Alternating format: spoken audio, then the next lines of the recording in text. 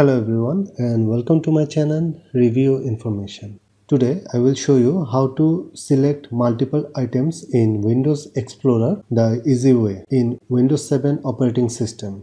Let's see how to do this.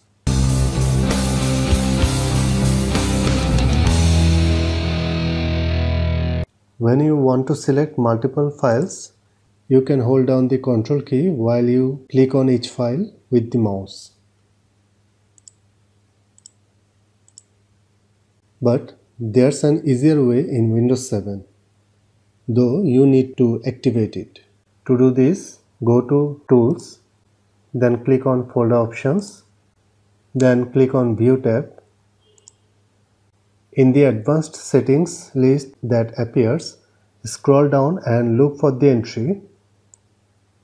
Use checkboxes to select item.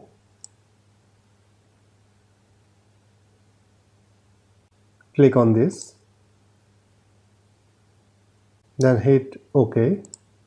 Now in the relevant folder you will now see empty checkboxes next to the files. Otherwise if you are in a list or detail view checkboxes will appear if you hover your cursor just to the left of the line items like this. Check these boxes off as desired to select multiple files in a folder for mass action. It's a lot more accurate and less nerve-wracking. This is how you can select multiple items in Windows Explorer the easy way.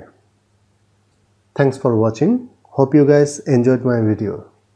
Please subscribe my channel for more videos. Goodbye.